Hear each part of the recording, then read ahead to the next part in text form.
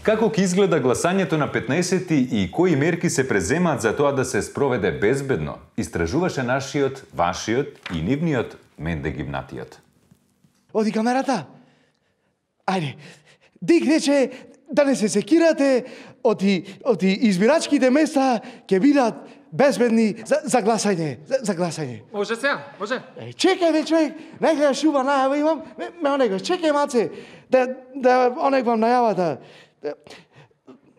Јас ка сакам да речам, од Исона се еден гениалец заборавен од обштеството и со него ќе позборуваме, од и тој вели дека има најдено начин и гарантира дека нема да фатиш корона ко, кој ќе на гласање. Може, така, сега може.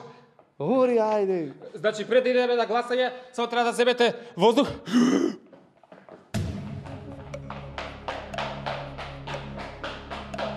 Што не ќе измисли? Првиот го изонегва на раце, втората го гледа в лице, третиот го гиба за лакто, четвртиот не знам што му прави.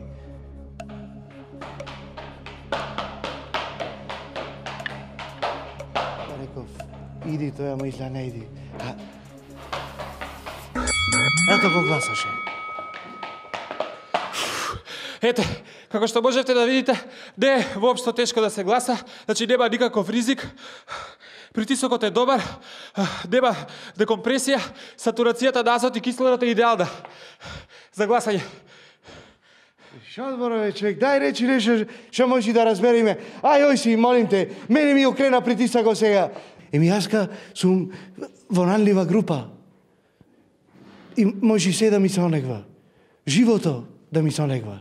Ама тој уреднико, се ва, пака газо, зират за пари.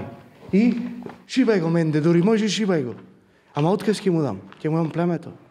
Ете, драги гледачи, видовме колку смешно изгледа гласачката параноја. Видовме како не треба, а во следниот прилог ќе видиме како треба да се однесуваме на 15-ти.